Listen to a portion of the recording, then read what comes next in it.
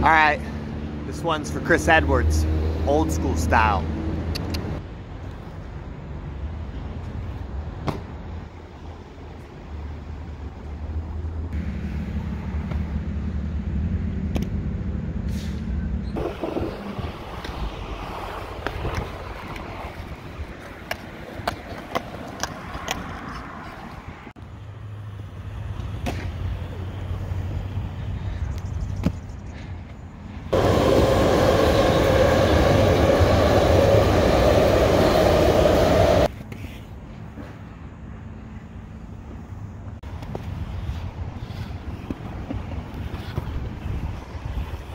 Ooh-ha!